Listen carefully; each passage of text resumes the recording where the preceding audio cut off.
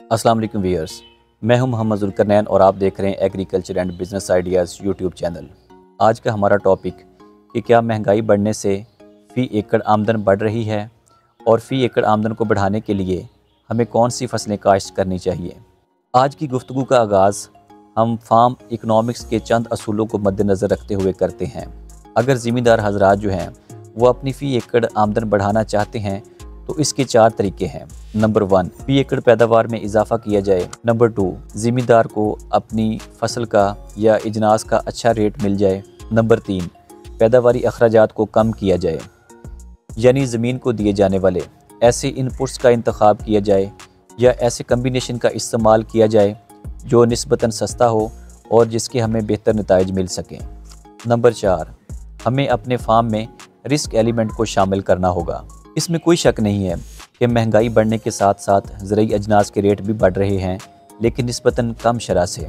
यहाँ पर अलमिया ये है, हमारा ज़िम्मेदार जो है, वो शार्ट टर्म या फौरी फ़ायदे को तरजीह देता है और बहुत जल्द अपना जहन बना लेता है कि फ़लाँ फ़सल में ज़्यादा मुनाफा है, लिहाजा वो काश्त की जाए। हालाँकि ज़रात जो है, ये एक मिड टर्म या लॉन्ग टर्म प्रोसेस है, जिसमें फ़सलों की बजाई और काश्त के जो फ़ैसले हैं, वो बड़े सोच समझ कर करने चाहिए। मसलन अगर हम पिछले पाँच साल में मकई की फ़सल के रेट का जायज़ा लें तो ये हमें बढ़ता हुआ नज़र आ रहा था। 2022 के आखिर तक मकई का जो रेट है, वो पैंतीस सौ रुपये फ़ी मन से लेकर चार हज़ार रुपये फ़ी मन तक पहुँच चुका था। जिसके नतीजे में ज़िम्मेदार हजरात जो हैं, उन्होंने अपनी तरजीहत को मकई की तरफ़ शिफ्ट करना शुरू कर दिया और 2023 में मुल्क के एक वसी रकबे पर जो है, वो मकई की काश्त की गई, जिसके नतीजे में मार्केट में सप्लाई और डिमांड की बुनियाद पर जो रेट तय हुआ, वो ज़िम्मेदार के पैदावारी अखराज से भी कम था। इससे मिलती जुलती सूरत हाल सरसों और राया में भी थी। इसके बरकस गंदम और तिल जो हैं, वो नस्बता कम रकबे पर काश्त हुए और ज़िम्मेदार ने एक अच्छी पैदावार के साथ बेहतर मुनाफा भी हासिल किया। सन 2024 की जो सूरत हाल है, वो 2023 से बिल्कुल मुख्तलिफ़ नज़र आ रही है और आने वाले चंद दिनों में इसका फैसला जो है वो मार्केट करेगी। अब हमें देखना ये है कि ज़िम्मेदार की फ़ी एकड़ आमदन को बढ़ाने के कौन कौन से तरीके हैं। पहला तरीका, हमें साल के 12 माह को मकम्मल और मुस्बत इस्तेमाल करना होगा। नंबर टू, मौसम और ज़मीन की साख्त को मद्देनज़र रखते हुए फ़सलें लगाने का फ़ैसला करना होगा। नंबर थ्री, किसान को एक साल में तीन फ़सलें लेने के तरीक़ाकार को अपनाना होगा। जैसे गंदम के बाद तिल और फिर मौसमी मकई की फ़सल। इसी तरह गंदम के बाद जो है, वो सुपरफाइन और किसान बासमती की फ़सल या गंदम के बाद साइलेज वाली मकई की काश्त और उसके बाद मौसमी मकई की काश्त। या फिर आप अपने इलाके के मौसम और ज़मीन की साख्त को मद्देनज़र रखते हुए इससे मिलता जुलता कोई भी फ़सलों का रोटेशन इस्तेमाल कर सकते हैं। साल में तीन फ़सलें लेना एक मुश्किल काम है। लेकिन मुश्किल के साथ साथ ये एक टेक्निकल काम भी है कि हमने पूरे साल के लिए मुख्तलिफ़ दौरानिए की कौन कौन सी फ़सलों का इंतखब करना है। यानी अगर हमारी एक फ़सल जैसा कि गंदम है, ये साढ़े पाँच माह पर मुश्तमिल है और बाकी दो फ़सलों के लिए हमारे पास साढ़े छः माह मौजूद है, जिसको हमने बड़ी अच्छी हमत अमली के साथ इस्तेमाल करना होगा। और बाकी साढ़े छः माह में हमने दो मखसूस और महदूद दुरानिए की फ़सलों का इंतखब करना है, या फिर शॉर्ट वेराइटीज़ का इंतखब करना होगा।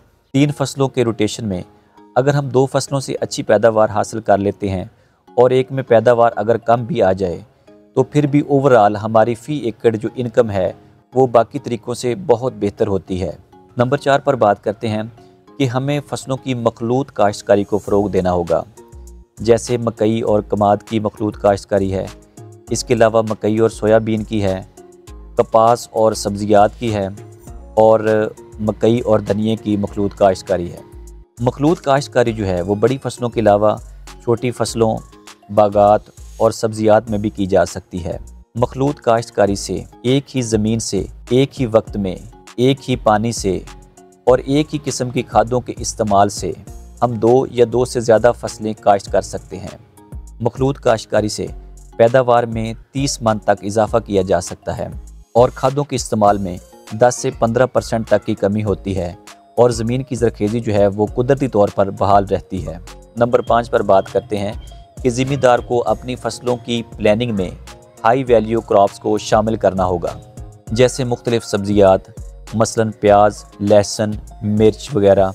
इसके अलावा स्ट्रॉबेरी और टनल फ़ार्मिंग की मुख्तलिफ़ सब्जियात और बागात की काश्त वगैरह शामिल हैं। इन सब्जियात और बागात को अगर हम मखलूत काश्त या हाई डेंसिटी पर काश्त करें तो हम अपनी तो से कहीं ज़्यादा सालाना फ़ी एकड़ इनकम कमा सकते हैं।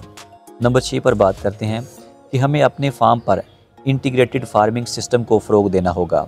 मसलन, हम अपने फार्म पर एक ही जगह पर और एक ही वक्त में दो, तीन या चार ऐसे कारोबार या फ़ार्मिंग बिज़नेस करते हैं जो एक दूसरे को तकवीत और फ़ायदा देते हैं और बेहतर आमदनी का ज़रिया बनते हैं।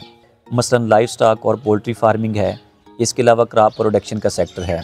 हम लाइफ स्टाक और पोल्ट्री के मेन्योर्स को अपनी फ़सलें उगाने के लिए इस्तेमाल करते हैं और नतीजतन हमारी जो फ़सलें होती हैं, जैसा कि मकई है या फोडर क्राप्स है, वो इन जानवरों के चारे और खुराक के तौर पर इस्तेमाल किए जाते हैं। इससे फ़ार्मिंग के कारोबार में रिस्क या नुकसान का अंदेशा नहीं होता। इस वीडियो को लाइक शेयर और चैनल को सब्सक्राइब करें। Thanks for watching video